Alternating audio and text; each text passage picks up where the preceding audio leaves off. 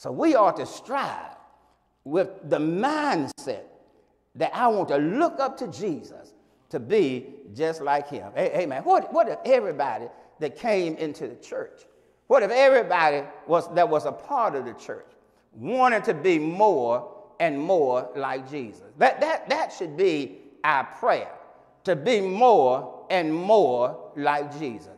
Every morning we want to, we wake up, we ought to say, Lord, make me more and more like you.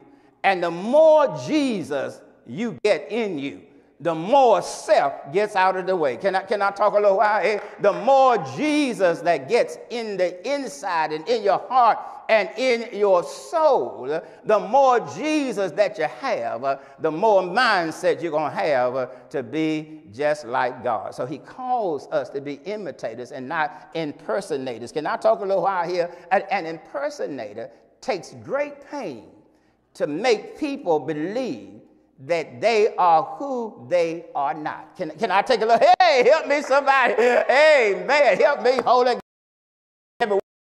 this morning about 320. Hey, amen, amen. That, that came about 320. 20, and I put your name beside the Debbie. I got to tell Debbie, that came at 320 this morning. And, and you are, you are, baby. But I just was up at 320 this morning, and this is what came to me that sometimes people take great pain to make people believe they are who they are not. Too many of us play in the church, want to make people think that we are a child of God, want to make people think that we are, uh, amen, but we're really not who we say we are, amen. And a whole lot of people can look through your fakeness, amen, and see that you are not who you say you are with the mind mindset of Christ, we are called to be true to who we believe in and let people see Jesus in us.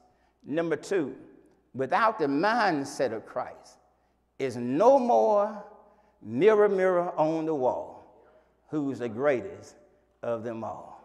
You remember that saying that too many of us live by that saying, mirror, mirror on the wall? Who's the greatest of them all? Nurse Betty, who are we looking at? Who do you see when you look in the mirror? You see your own self.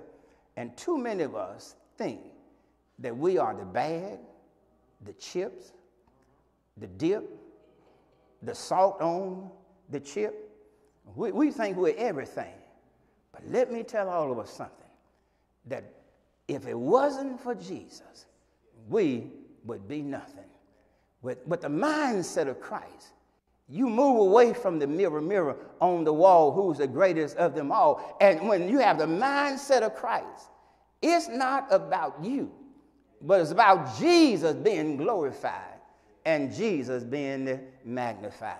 I'm, I'm concerned that too many of us had got to the place in the church that we were glorifying and magnifying everybody else but Jesus Christ. Can I preach a little while this morning? We got to the place that some of us don't even know the name of the church because the preacher is larger than the church. Can I, hey, help me somebody? We have gotten to the place that we glorify the people in the church uh, and we have stopped giving glory to God. Can I talk for a little while? But let me remind all of us who are in leadership, let me remind all of us who are in the church uh, that God don't need you to sing, God don't need you to preach, God don't need you to usher. God don't need you to count the money because the last time I checked, God has all power in earth and heaven in his hand.